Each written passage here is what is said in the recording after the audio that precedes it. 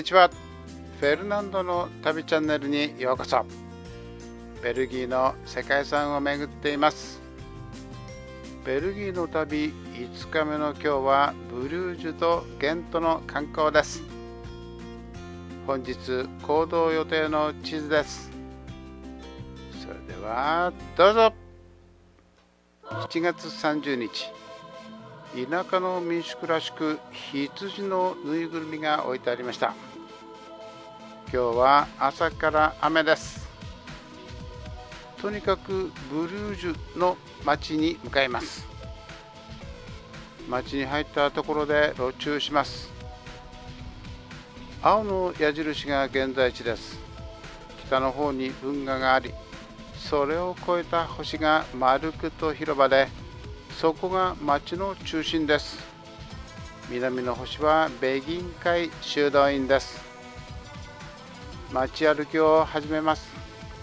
雨はほとんど大丈夫のようです。歩き始めてすぐにダイヤモンド博物館があります。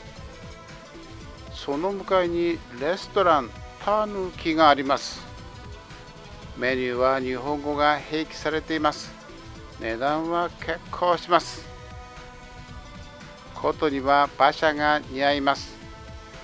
ビール通の人には嬉しい500種類以上が置かれているようです。正面に122メーターの塔を持つ聖母教会が見えてきました。ブルージュは13世紀後半から羊毛の輸入で繁栄した貿易都市です。内陸にありながら24キロ離れた北海といくつもの運河で結ばれていました。聖母教会の向かいにメムリンク美術館があります。1252年に半座都市となりヨーロッパで最も栄えた商業都市の一つでした。しかし15世紀に入ると水路が沈冷のため浅くなり船の航行ができなくなります。ブルージュは徐々に衰退し19世紀の産業革命にも乗り遅れてしまいました。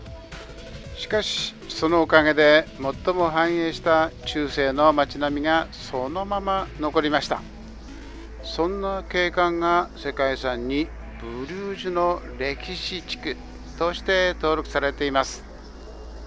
鐘楼が遠目にもその得意な姿を見せています。馬車にはかなり頻繁に出会います。そして運河の観光船観光地ならではの光景です。ブルージュの中心マルクト広場に来ました。広場の東にあるネオゴシック様式の州庁舎とその隣にあるヒストリウムです。南にある鐘楼で圧巻の存在感です。世界遺産ベルギーとフランスの鐘楼群の一つでもあります。鐘楼は町が繁栄を誇った13世紀にその繁栄を支えた毛織物業者の会館の上に建てられました。83メーターの鐘楼に登ります。階段は一部木製です。市庁舎のあるブルグ広場です。南方面です。左に見える塔は先ほど通ってきた聖母教会です。右の塔は救世主大聖堂です。ここで鐘が鳴り始めました。その時の音を動画とともにお楽しみください。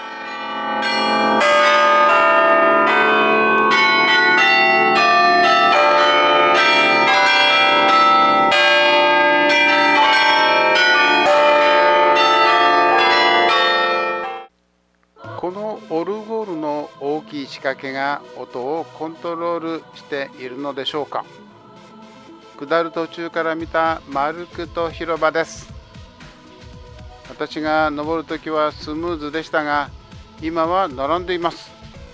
安全のため塔に登れる人数を制限しているようです。マルクト広場からすぐのブルグ広場に来ました。清潔礼拝堂です。視聴者です。前面に彫像が飾られていますがルーベンの街のはやはりすごかったです。一つ裏の道から戻ります。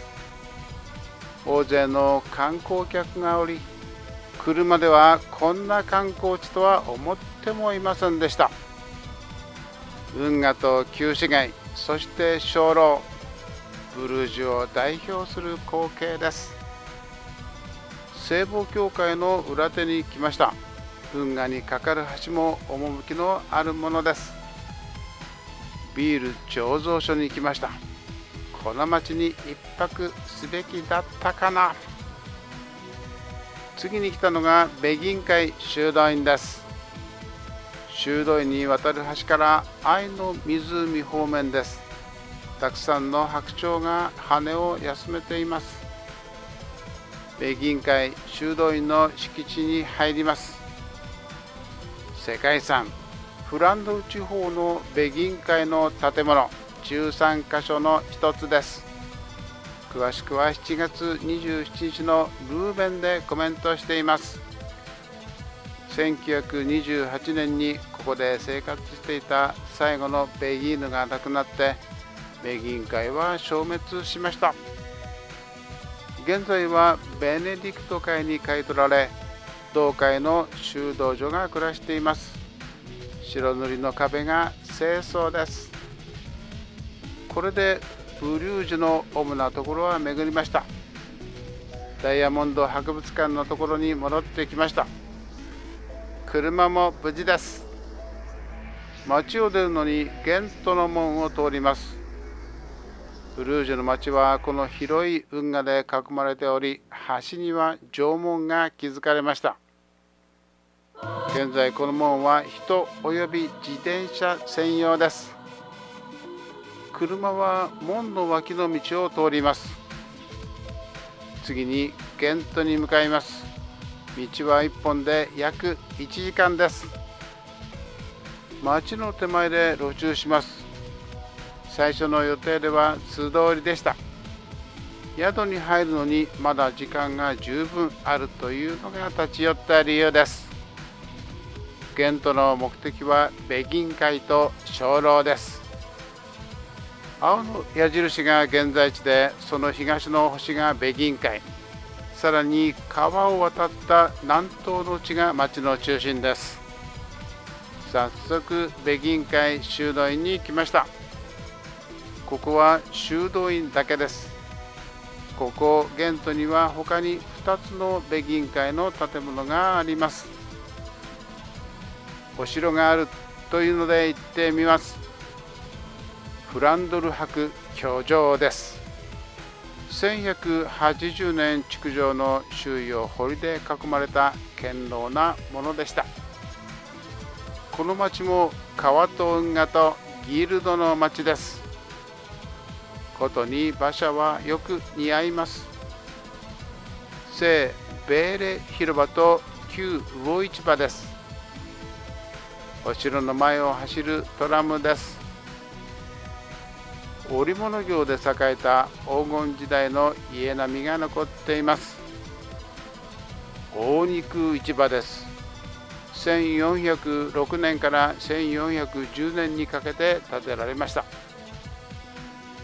市庁舎まで来ました。左の塔は鐘楼です。1300年頃に建てられた鐘楼とそれに隣接して1425年建造の繊維ホールが建ちます。鐘楼は世界遺産ベルギーとフランスの鐘楼群の一つです。鐘楼に登るのにエレベーターがあります。鐘楼の真向かいに立つ聖バフ大聖堂です北方面の市庁舎です西方面の聖ニコラス教会です。鐘楼を降りてレイエ川沿いを歩きます。聖ミヒエル橋から町の中心方面です。8月だというのに寒いそのはず私半ズボンです。端から東の街並みが高連レイ。右がグラスレイ。両側とも当時の商人たちの富を象徴するように壮麗なギルドハウスが立ち並んでいます。雨がぱらついてきました。急いで車に戻りましょう。初めて来たゲントですが結構見どころ満載の街でした。雨の中をブリュッセル方面に向かいます。郊外に宿はありますが街中で渋滞しさらに行こうと思った道が通行止めです。宿に着きました。民宿です。離れに2部屋あります。青の矢印が現在地です。ブリュッセルにほどなくの場所です。郊外にあるだけあって庭が広く大きな池まであります。池から宿を見ます。自然いっぱいです。部屋はというとこれが複雑です。トイレバスルームベッドルームが独立していてそれが縦に並んでいます。スーパーで買ったビールを飲みます。寒いのでつまみをひねったら暖房になりました。やはりビールは熱い方が美味しい。いかがでしたか？旅は永遠に続きます。明日は大詰めのブリュッセルです。ご視聴ありがとうございました。